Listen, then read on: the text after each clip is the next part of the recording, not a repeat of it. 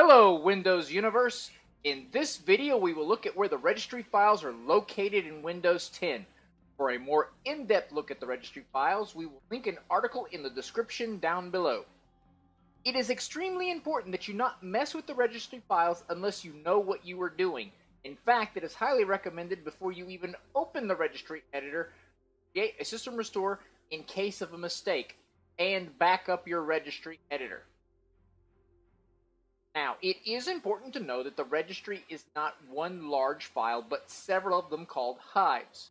If you go into the registry editor by typing in the reg edit, then into the local machine, you will see the location of some of the registry hives. You have SAM. Here are all the SAM log, SAM save are kept. Security. Your security, security log, and security save registry files exist there software, you have the software log and the save, and registry files called system. Here are your system.alt, system log, and system.save registry files can be found. In current configuration, you can find system, system.alt, system.log, system save, nt.dat, and nt.dat.log are at. Users and user's default holds the default, the default log, and the default .save.